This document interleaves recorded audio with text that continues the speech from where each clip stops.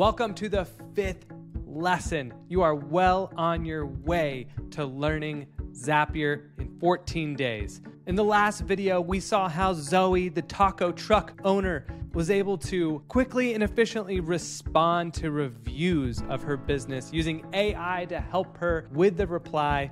Now, Zoe is expanding. She is needing to hire new teammates to come on board and help her out. We'll be looking at an employee directory that she created in Zapier Tables that stores all the information for employees and also allows her to kick start a onboarding process that takes new hires through a series of steps and sends them a link to a Zapier canvas that outlines all the different processes that go into powering Zoe's taco truck business. We'll start in that Zapier table.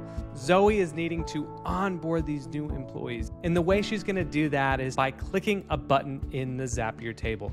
Of course, this is linked to a Zap. So let's look at what that Zap entails. We'll click in and see all that goes into it. Of course, the trigger is to start with that button that Zoe presses, and then there's a few things that are gonna happen. The first thing is that the Zap is gonna find the next onboarding event in a calendar that holds all those events. Once it's found, it will add the new hire to that onboarding event. So they're going to get an email notification and it will be put on their calendar. Then in the chat app that they use, send a welcome message to the team, letting them know about this new hire. And the last two pieces are one, inviting that new hire into the Zapier account, and lastly, sending that email. The email is going to have the first week checklist along with a link to the canvas that shows all the processes that they need to review for the day. So we can see when that Zap runs, they get invited to the Google Calendar event, they get an email inviting them to join Zapier.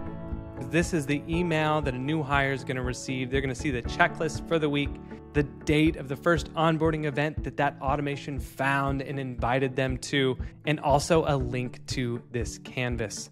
And through this canvas, we can see that Zoe has mapped out all of the processes that we've built over the last few lessons. It allows you to create living diagrams that are active and change anytime you update a Zap, for instance, it will reflect here so everyone can stay on the same page without thinking, oh, is this outdated? Does this need to be updated? As a new hire, I could come in here, click into these steps, and actually go visit the tables and visit the pages, the forms, the zaps, and the automation that run the entire business. We've seen Zoe do so much, automate and build so much for her business using Zapier. And if you haven't already, now it is your turn to give it a try.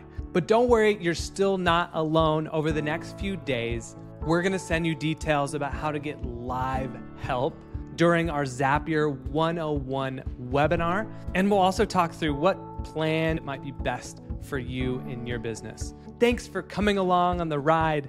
We'll see you soon.